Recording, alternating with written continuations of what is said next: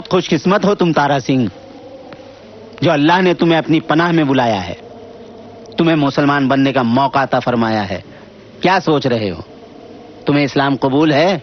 आदमी का सबसे बड़ा मज़हब है अपनी बीवी और बच्चों की हिफाजत करना। तुम्हें इस्लाम कबूल है?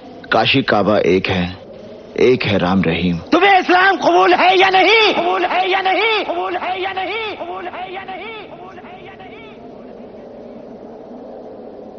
कबूल है।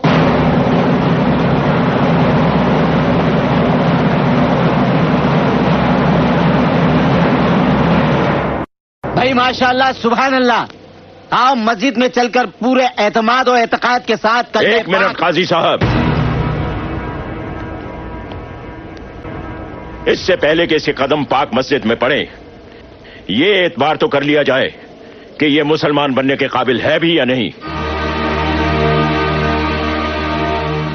अगर तुम्हें इस्लाम कबूल है तो ठीक है। कहो इस्लाम जिंदाबाद।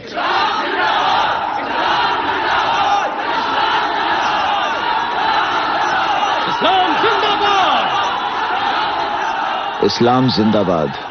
हम्म कहो पाकिस्तान जिंदाबाद।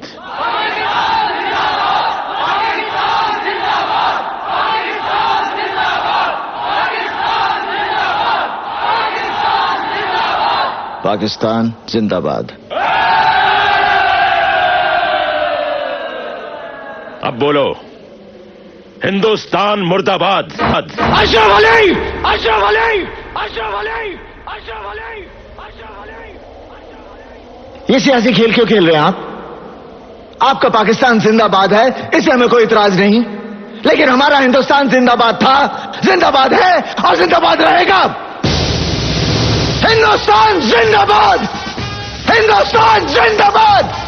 हिंदुस्तान जिंदाबाद! हिंदुस्तान जिंदाबाद! हिंदुस्तान जिंदाबाद! बकवास बकवास बंद कर जब तक तो हिंदुस्तान मुर्दाबाद नहीं कहेगा हमारे लोगों को कैसे यकीन होगा कि तू पक्का मुसलमान है? इस मुल्क से ज़्यादा मुसलमान हिंदुस्तान में है।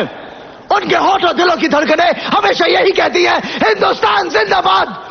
तो क्या वो पके मुसलमान नहीं है? तकरीरें बंद कर। अगर तू हिंदुस्तान मुर्दाबाद नहीं कहेगा तो शकीना को हासिल नहीं कर सकता। बस बहुत हो गया। अगर मैं अपने बीवी बच्चों के लिए सर झुका सकता हूँ तो मैं सबके सर काट भी सकता हूँ।